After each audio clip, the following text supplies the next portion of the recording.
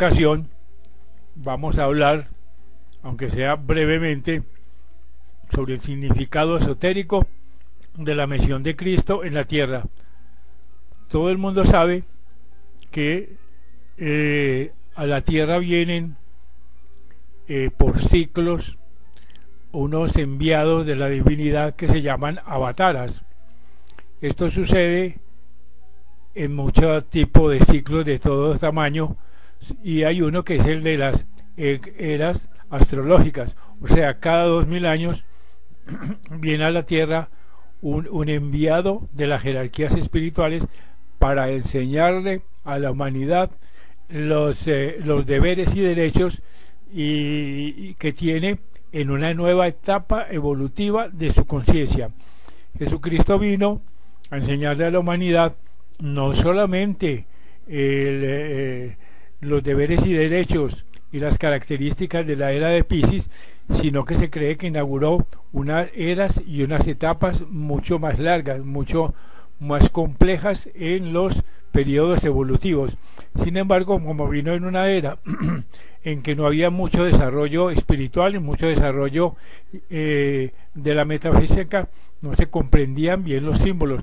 Así que Cristo tuvo que hablar en parábolas, en metáforas. Y por eso el, el nuevo Evangelio, el Nuevo Testamento, está encriptado, es simbólico.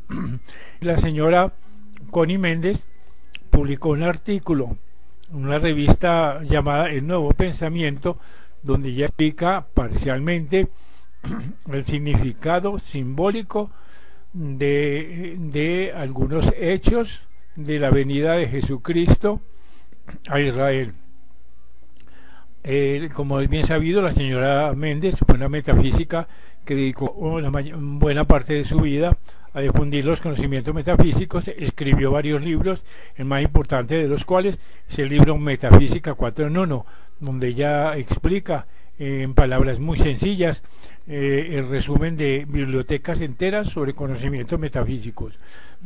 Pero volviendo al objetivo de nuestro video, veamos lo que dice la señora Connie Méndez sobre el significado metafísico de la Semana Mayor. Dice el Maestro Jesús se encontró con una situación delicada.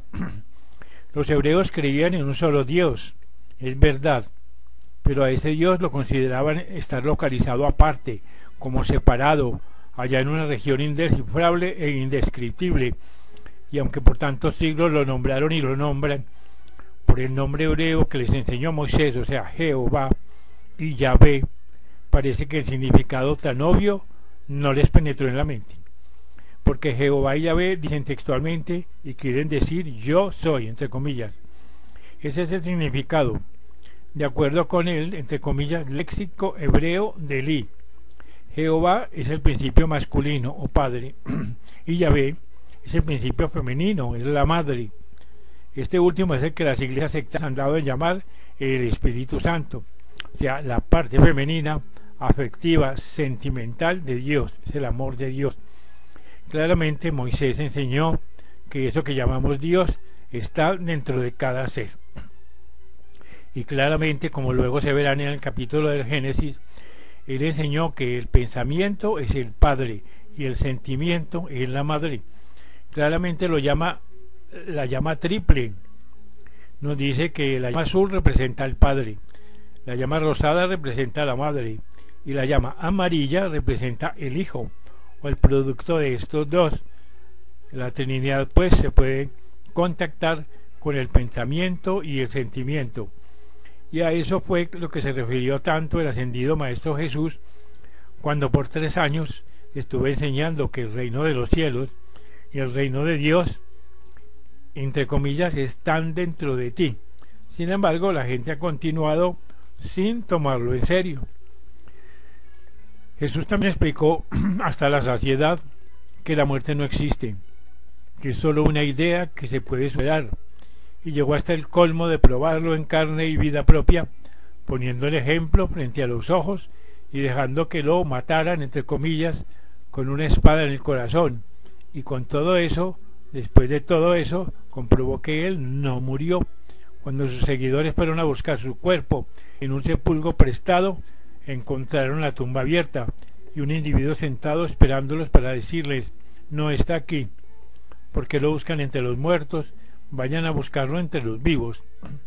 A pesar de que los textos bíblicos no dicen que Jesús murió en la cruz, pues lo que dicen es que entregó el espíritu, entre comillas, lo cual significa en el lenguaje espíritu de la época que proyectó su cuerpo etérico o que se desdombló. Y esto está comprobado en los textos traducidos al inglés del arameo con la forma de entregó el fantasma, give up the ghost, como dicen los ingleses, por tenía por qué, porque no tenía por qué continuar soportando irrespetos. El mundo corriente no ha podido leer entre líneas y ha continuado creyendo que el maestro murió, que fue sepultado y que resucitó al tercer día. Así que lo que realmente hizo el ascendido Maestro Jesús fue permanecer ausente del cuerpo físico y luego recuperar o terminado la misión que fue a cumplir en los planos subastrales. Jesucristo descendió al astral para salvar a, las personas que se encontraban allí. Así, que a pesar de que los textos dicen que fue visto el Maestro caminando vivo por los caminos, que mostró las heridas de ese cuerpo y hasta permitió que se las tocaran, todo fue para comprobar que aquel era el mismísimo cuerpo físico que había sido ostensiblemente matado, entre comillas. Las multitudes continúan llorando su muerte, entre comillas, y exhibiendo su imagen colgado en la cruz, olvidando totalmente la versión que después circuló de que había resucitado, entre comillas, en un esfuerzo por aclarar el misterio. Así que el maestro sí resucitó a Lázaro, quien sí había dejado el planeta. Sí invocó la vida que existe en todo, aun en los aparentemente inánimes, pero un mínimo de consideración sobre los hechos comprueba que las células iluminadas, vibrando a tan altísima frecuencia, no es posible que las desintegre la oscuridad.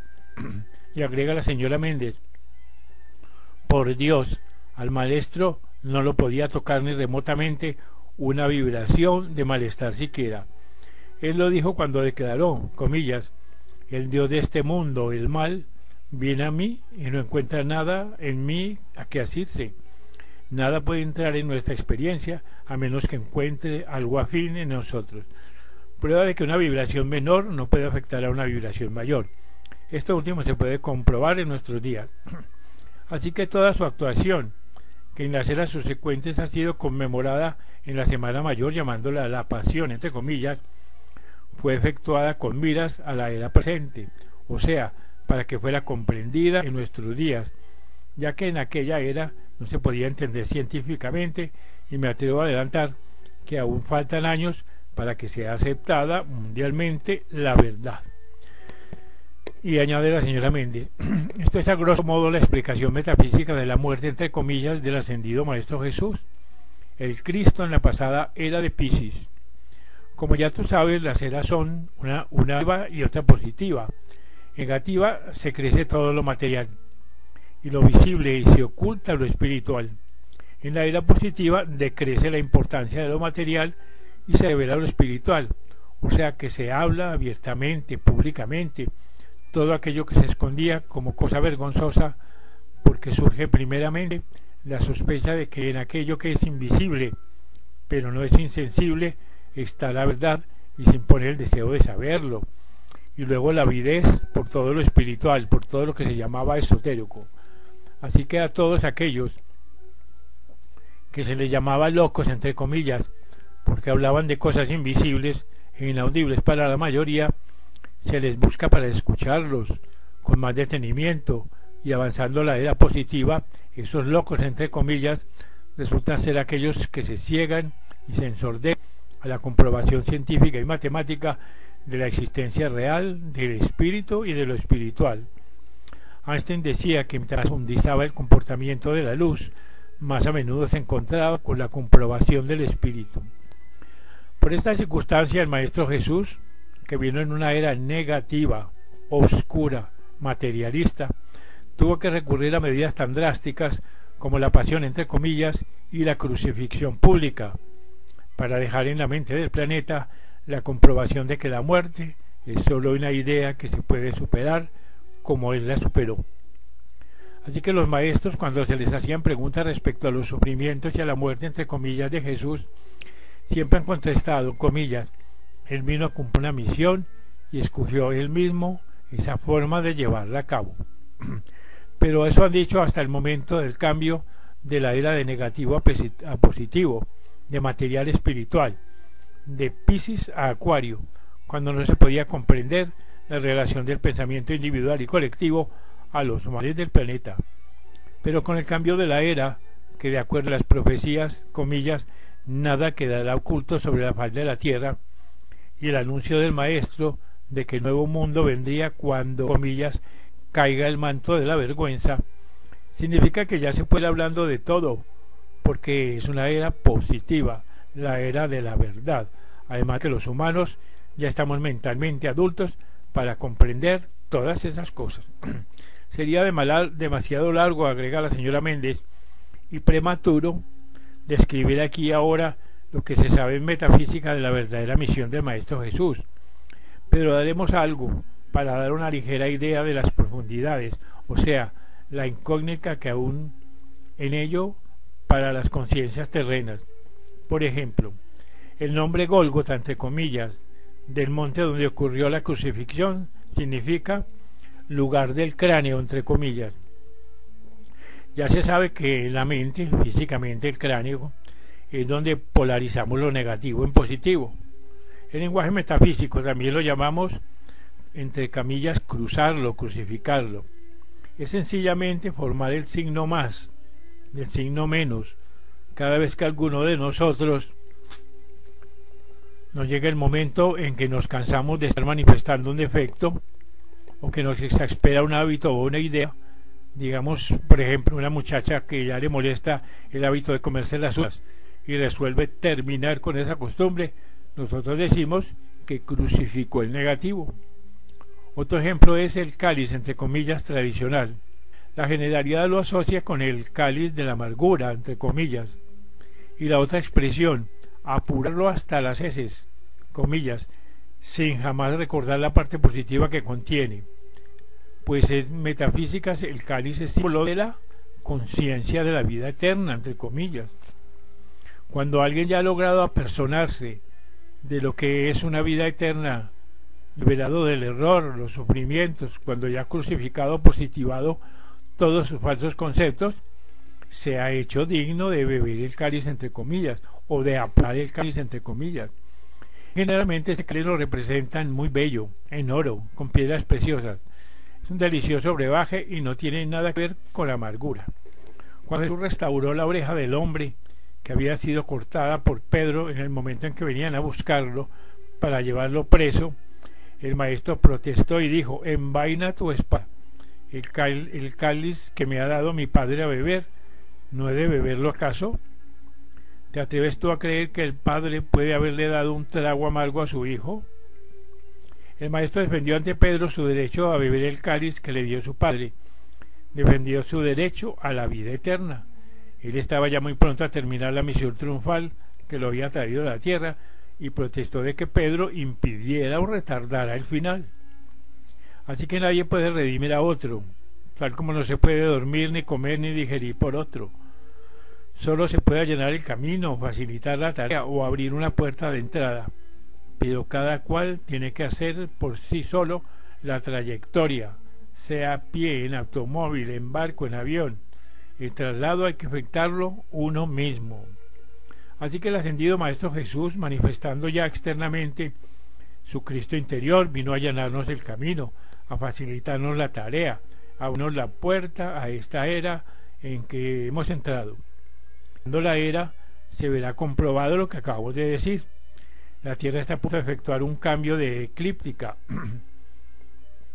El término punto, por supuesto, es simbólico, ya que puede que diste 30 años o 30 mil años es un momento en que la Tierra entrará a la órbita de Venus, cuando hayamos pasado hasta la quinta y sexta raza. Tiene que ponerse ligera, apurando su velocidad y enderezándose. Recuerda que la ley de la correspondencia dice, como es arriba es abajo y viceversa. Igual cambio estamos actuando en los cuerpos sutiles. Tenemos que quitarnos el lastre, ponernos ligeros, aumentar nuestras vibraciones y volvernos más rectos, entre comillas. Y termina la señora Méndez en su artículo diciendo, sin la obra del Maestro Jesús, jamás hubiéramos podido lograrlo. La efluvia, que es esa masa de energía negativa que se ha acumulado alrededor del planeta, formada por el odio, maldad y pesimismo de la humanidad entera, sin la, efluvia, sin la efluvia que rodea el planeta se iba a hacer demasiado espesa. Así que él abrió una brecha de la tierra a las tinieblas y de allí al plano crístico, para que, en comillas, el que quiera beber del agua de la vida lo haga. O sea, el que quiera y pueda elevarse, superarse y espiritualizarse, tiene el camino abierto para la, eh, la nueva espiritualidad. Este pues es un ciclo muy interesante de la señora Connie Méndez sobre algunos de los significados ocultos de la pasión de Jesucristo.